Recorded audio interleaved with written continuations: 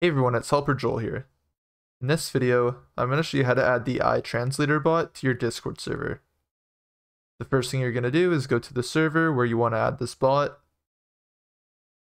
Once you're in the server, you're going to go to the top left and click on the server name. On this drop down menu here, go down and select the app directory option. Once you're in the app directory, in the search bar here, you're going to search for iTranslator spell it just like this, and then hit enter on your keyboard to search. And as you can see here, the first one that comes up is the iTranslator bot. So I'm just going to select this one.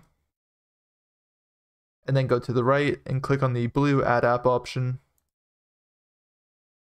From here, I'm going to click on the add to server.